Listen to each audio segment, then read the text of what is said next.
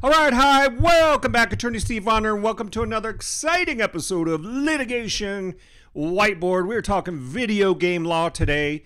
Intellectual property. What are the issues when you're creating video games? You're trying to load them up to the Apple Store, and then somebody says you're infringing, your game's infringing.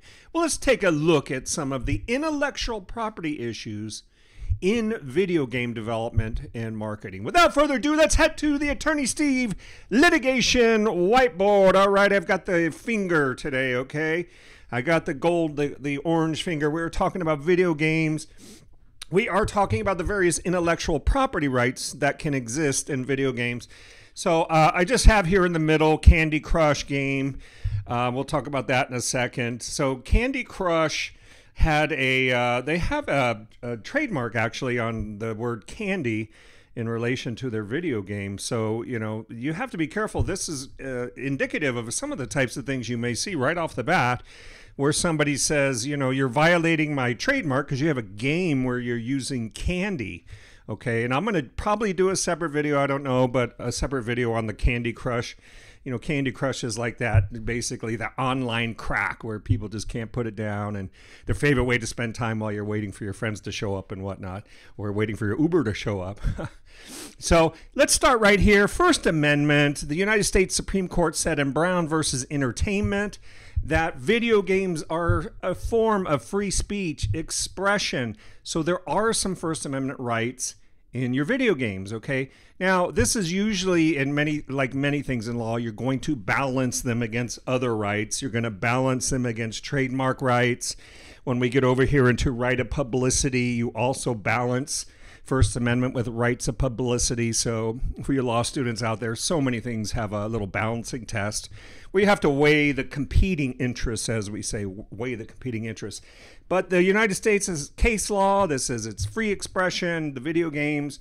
And so that's something that you always want to be thinking about, okay?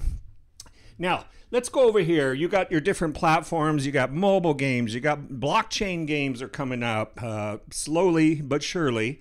Uh, you have PC Mac, these console games. You got games in an arcade. You got all kinds of games, okay? You got board games, you got card games, you got all these things. So the point is, it's really hard to come up with brand new ideas never before seen. And so, like something like Qorkle, that's like, you know, brand new, never sourcing. There's so many video games, first player shooters, all this stuff there's different platforms. So these are where the disputes arise, and all the different cartridges, the the programs, the software code, all this stuff. Um, and it's not it's not too tough to sort of tip on uh, walk on somebody else's toes to the point where you're getting a cease and desist letter. Okay, so that's the kind of cases we handle here.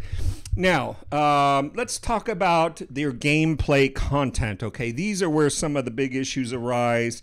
What are you using in your game? What kinds of items and elements and characters do you have?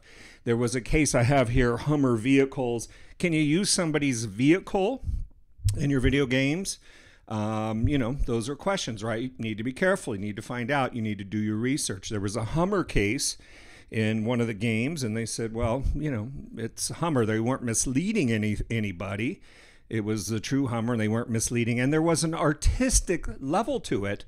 And that's where you get back over here to the First Amendment. And over here, what we call the Rogers versus Grimaldi test makes me hungry for pizza every time I say that because I love Grimaldi's pizza, if you know what that is.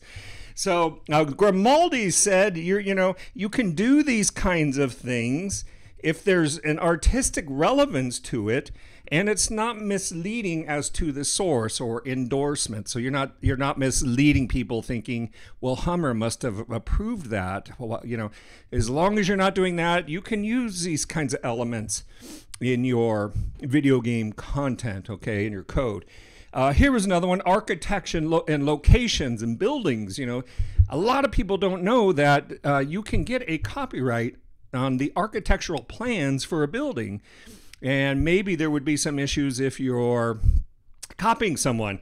Uh, there was a one video game that had Pigpen Club, and somebody in L, I believe it was L.A. Somebody said, "Well, we have the the men's the men's pig lounge or whatever it was." Okay, I'm, I'm probably going to do a separate video on this because it's really good.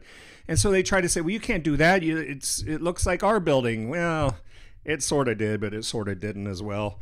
So these are the kinds of fights that can be raised. What kind of content are you using in your video? Um, characters. Are you borrowing characters from Star Wars? Or, or, Disney and bringing them into your video games. You need to be careful about that. Those characters, those finely tuned, finely defined characters, can be subject to uh, copyright protection. Um, names, like here, there was a game, uh, uh, Electronic Arts had a Battlefield game they use the name Bell Helicopter. Can you do that? That's like that's like a whole company. Can you use their brand? Well, once again, we get back here to artistic relevance. Was it misleading as to the source? Rogers versus Grimaldi, understanding that Brown versus Entertainment, the United States Supreme Court recognized First Amendment rights. Okay, so these are some just a, this is just a portion of the different types of issues that can arise when you're designing, marketing, you're uploading your uh, games, and somebody else, maybe they're bigger than you. A lot of times you'll see uh, somebody will take an idea very similar to a successful company and they will try to put their own spin on it. And oftentimes it's a little too close. Uh, where they're saying, "Hey, you're violating my trademarks or my trade dress." my you're violating my copyrights, things like that. So these are the things you need to be careful of when people say, "Well, what is video game law?"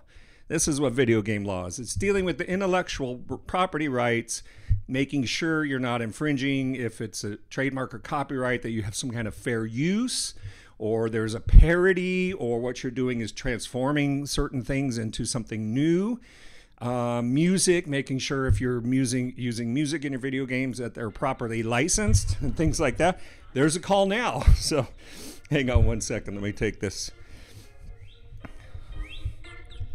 Yeah, you calling about video games? Oh, okay. So, yeah, so back to my thing here. So, basically, these are the kinds of things and also right of publicity is another important one. These are these are these are your sports games where you're using someone in their jersey, you're using their jersey, their swing, um, or like uh, professional stars, you're using their dance move. Entertainers and singer songwriters, you're using their dance moves. Did you know dance moves, choreography, and pantomime can be copyrighted? So if you're copywriting some real world star and they have a copyright protection on their, let's say their their chore- choreographed dance, putting that in your game can lead to legal problems. Okay.